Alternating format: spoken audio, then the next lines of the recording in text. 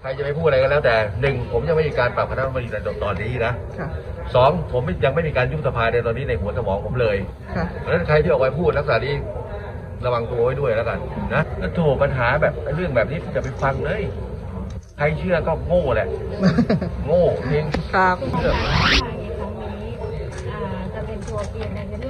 อง อไปอ๋อผมก็ยังไม่มีนะ ไม่มีความคิดในตรงนี้นะสองเรื่องนะ ผมยืนยันตรงนี้เลยนะค่ะใครจะไปพูดอะไรกันแล้วแต่หนึ่งผมยังไม่มีการปรับคณะรัฐมนตรีในตอนนี้นะค่ะสองผมยังไม่มีการยุบสภาในตอนนี้ในหัวสมองผมเลยค่ะเพราะฉะนั้นใครที่ออกไปพูดลักษณะนี้ระวังตัวไว้ด้วยแล้วกันนะเพื่อสร้างความตื่นตระหนกอะไรก็แล้วแต่ในช่วงอภิปรายเนี่ยนะก็มีหลายข่าวนะที่อาจจะมาจากสื่อบ้างอาจจะมาผมก็ติดตามตลอดนะนะถ้าถ้ามีใครทำเช่นนั้นจริงนะผมคิดว่าเป็นคนที่ใช้ไม่ได้ ท่านได้พูดคุยกับพลเอกประยุทธ์เอ้ยพลเอกประวิตยแล้วหรือยังอะคะ พูดแล้วพูดแล้วก็คุยกันแล้วแหละมีปัญหาอะไรจริงๆไหมคะกับข่าวที่ออกมา ท่านก็บอกว่าไม่มีอะไรท่านก็คุยกันข้างในแล้ว ค่ะ แต่ก็จะมีการปล่อยข่าวพวกนี้มาอีกผมไม่สบายใจท่านบอกไม่สบายใจมันเป็นแรงกระเพื่อมในพักพลังประชารัฐซึ่งเป็นแกนนำของรัฐบาลเองมันจะมีปัญหาอะไรไหมท่าน ผมผมไม่ได้ผมไม่ได้มองตรงนั้นนะค่ะ ว่าใครจะแกนนำไม่นำอะนะ ค่ะ ผมคิดว่าสมาชิกทุกคนต้องเข้มแข็งนะ แล้วต้องยึดมั่นในสิ่งที่มันเป็นข้อเท็จจริงนะอืม เพราะฉะนั้นใครไปกล่าวอ้างใครต่างๆทั้งหมดเนี่ยอย่าไปเชื่อนะ อืม ถ้าสงสัยถามนายกได้ทุกคนนายกอาจจะห่างเขาบ้าง เพราะว่ามันทำงานคนละบทบาทใช่ไหมอืม แต่ผมยินดีให้คำปรึกษาอะไรต่างๆทั้งสิ้นนะแล้วผมก็เตือนอยู่เสมอว่า การทำอะไรก็ตามเข้าใจก็มาอะไรก็ตามขอให้มันให้มันบริสุทธิ์โปร่งใส อืม นะแล้วก็ถึงมือประชาชนอย่างแท้จริงไอ้เรื่องที่ว่า จะมีใครไปทุจริตกันอะไรต่างก็จะไปสอบกันกระบวนการข้างล่าง ช่วยกันดูแล้วกัน ไม่ว่าจะพักไหนแหละผิดมาผมก็ไม่เอาไว้อะนะอืมช่วยไม่ได้อืมเพราะผมยืนยันไปแล้วว่าจะต้องไม่ทุจริตไงเพราะฉะนั้นมีอยู่สองสามเรื่องที่เป็นข่าวตอนนี้คือหนึ่งเรื่องจะโหวตล่มนายกอ่าผมว่านี่มันถ้ามันจริงนะ ผมถือว่าไม่ใช่สุภาพบุรุษนะอืมไม่ใช่สุภาพบุรุษเพราะแล้วเวลานี้ไม่ใช่เวลานั้น เวลาที่เราต้องมาทำอย่างนั้นทำไปเพื่ออะไรอะใช่ไหม ผมเข้ามานะผมก็ทำงานร้อยเปอร์เซ็นต์นะทุกเรื่องนะเพราะฉะนั้นผมคิดว่าการที่จะไปรวมคะแนนเสียงโหวตซึ่งจริงไม่จริงผมไม่ทราบนะถือว่าเป็นไม่ใช่สุภาพบุรุษนะถ้าทำแบบนั้นนะอันที่สองอาจจะไปปล่อยข่าวว่า ผมจะยุบสภาอืมทุกคนก็ตื่นตระหนกกันไม่หมดใช่ไหมอาจจะมีการเอ้ยบางบางคนก็ไม่เห็นนายกมีอำนาจยุบสภาดีกว่าอืมอันนี้ก็ได้ใช่ป่ะอืมเอออันที่สามมีการแอบอ้างหรือเปล่า เออใช่ป่ะ ผมยืนยันว่าแอบอ้างทั้งสิ้นอืมผมยืนยัน มีการถามท่านประวิตยนะคะว่ามาบีบผมทำไม ผมไม่ได้ถามอย่างนั้นนะค่ะ ผมบอกว่าให้ถาม ผมไม่ได้ผมให้ถามว่า เออมันมีข่าวนี้จริงหรือไม่ อ๋อ เออ ค่ะค่ะก็ไปอ้างไปพูดกันเรื่อยเปื่อยไปว่าเออนายกไปถามว่าผมไม่จำเป็นต้องไปไปไปเขาเรียกอะไรล่ะ ไปแหมมันเหมือนแล้วแล้วตอนศักดิ์ศรีเลยไง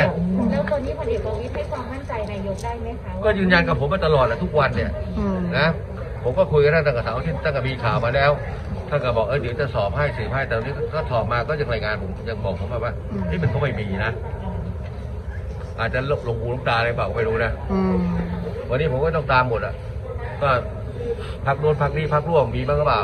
ใช่ไหมอืมเดี๋ยวก็หัวหน้าพักก็จะช่วยกัน นะจ๊ะยืนยันไม่มีการยุบสภา เรากำลังทำงานหนักอยู่ งานสำคัญอยู่จะยุบไปทำไม ค่ะ ยุบได้ยังไงค่ะ นะอันที่สองคือการแอบอ้างถ้ามีการเปลี่ยนตัวแอบอ้างเมืองสูงเนี่ยอืม ถือว่าผิดอย่างอย่างร้ายแรงนะ ค่ะ ผมคนเดียวเท่านั้นที่มีได้มีโอกาสถวายข้อรายการคนอื่นไม่มี โอเคไหมโอเคค่ะชัดเจนไหมชัดเจน เมื่อคืนสวดมนต์ยังคะท่าน ผมสวดทุกวัน หลายคนผมบอกผมสวดมนต์บอกว่างั้นเอาพระเจ้าวาดมาเป็นนายกดีกว่าคนละเรื่องมั้งใครไม่สวดมนต์อะ ท่านนายกค่ะแต่ดูเหมือนท่านอนุพงศ์ก็จะโดนโดนเรื่องเก้าอี้เหมือนกันมอทอหนึ่งที่เขาอยากได้คือเป็นเป็นโควต้าของพลังประชารัฐเอาไปทำอะไร เอาไปทำเพื่อเกิดประโยชน์สูงสุดกับประเทศชาติหรือเปล่า เอาเปล่า ไม่มีการเปลี่ยนมอทอหนึ่งใช่ไหมคะอย่างนี้ก็จะผมไม่พูดเปแบล่าบเก่งนี่แล้ว ก็คือมั่นใจว่าจะร่วมกับพรรคร่วมเดิน หน้ารัฐบาลจนครบเทอมเลยก็ผมก็ยืนยันว่าอย่างนั้นไง ผมก็บอกหัวหน้าพักทั้ง สามสี่พักอะว่าเราต้องอยู่กันไปให้ได้ก่อนในช่วงนี้วันหน้าเป็นเรื่องของวันหน้า เรื่องเลือกตั้งก็อีกเรื่องหนึ่งอันนี้ผมไม่ทราบว่ามันมีจริงหรือเปล่ามันมีกระบวนการอย่างนี้เกิดขึ้นจริงหรือไม่อืมแต่ผมก็ขอร้องตรงนี้แล้วกันว่าการทำอะไรก็ตามที่มันไม่ถูกต้องนะทำสิ่งที่มันไม่ดีเนี่ย มันมันมันก็เขาเรียกอะไรอะ มันเป็นเรื่องของกรรมอะนะอันนั้นก็เป็นอีกเรื่องหนึ่งนะวันหน้าผมก็จะดูว่าถ้ามันใช่มันจริง แล้วผมจะทำอะไรได้บ้างเข้าใจไหมพักพักเล็กพักน้อยก็คุยหมดแล้วใช่ไหมคะท่านพักเล็กๆก็ผมไม่ได้คุยตรงหรอกนะก็มีคนคุยด้วยค่ะท่านก็คุยกับท่านท่านพรรคเล็กพรรคน้อยก็คุยกับหัวหน้าพักไงอืมทั้งสามพักเขาคุยกันหมด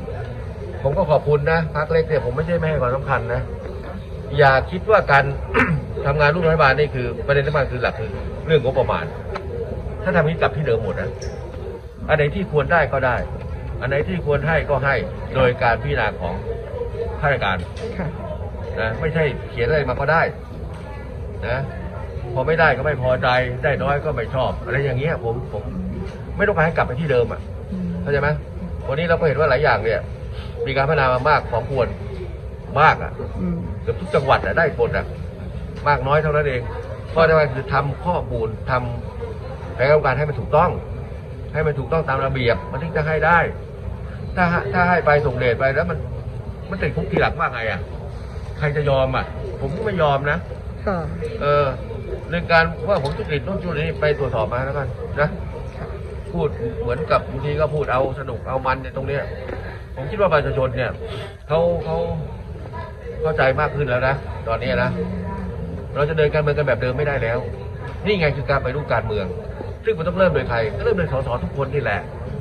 ใช่ไหมล่ะในเมื่อเราอาสาสมัครเข้ามาทำงานการเมืองเนี่ยก็ต้องทำงานการเมืองที่ผู้ที่ประชาชนเขาเลือกมาเขาไว้ใจมาเข้าใจไหมแล้วท่านก็เป็นสสเป็นรัฐมนตรีของคนทั้งประเทศ ไม่ใช่เฉพาะพื้นที่ของท่าน เพราะฉะนั้นการเมืองแบบเดิม มันไม่ควรจะเกิดขึ้นอีกแล้วล่ะมันควรจะทำแบบใหม่เนี่ยคือทุกคนก็หาดีการพูดจากันนะช่วยกันทำโน่นทำนี่ทำโครงการไปให้ถึงคนในพื้นที่ของตัวเองด้วยและพื้นที่อื่นด้วย ไม่ใช่จะดึงมาของตัวเองหมดนะแล้วนายกก็ตามใจได้เหรอฮะและการเมืองนอกสภาคะท่านตอนนี้ที่ยังคงคุกกุ่นแล้วก็พยายามจะบีบก็นี่ไงผมพูดไปแล้วนี่ไงอืมเขามีเหตุผลอะไรไปอ้างว่าว่าเขาเขาไปอ้างแหละเอาไปบีบเขาได้อ้างอะไรบ้างหนึ่งสองสามสี่ห้าก็ผมยืนยันหมดแล้วหนึ่งสามสี่ห้าดีกว่าอืมมีข่าวว่าอาจจะคุยนายกยุบสภา แล้วต้องทำให้นายกได้ไม่สาไม่สามารถจะยุบสภาได้ต้องเอานายกออกตอนนี้มีข่าวนะข่าวนะเอออันที่สองมีเปลี่ยนแปลงมานะไม่เอานายกแล้ว อันนี้แบบเนี้ยก็โถปัญหาแบบเรื่องแบบนี้จะไปฟังเลย ใครเชื่อก็โง่แหละ โง่จริงครับขอบคุณนะคะ ขอบคุณค่ะ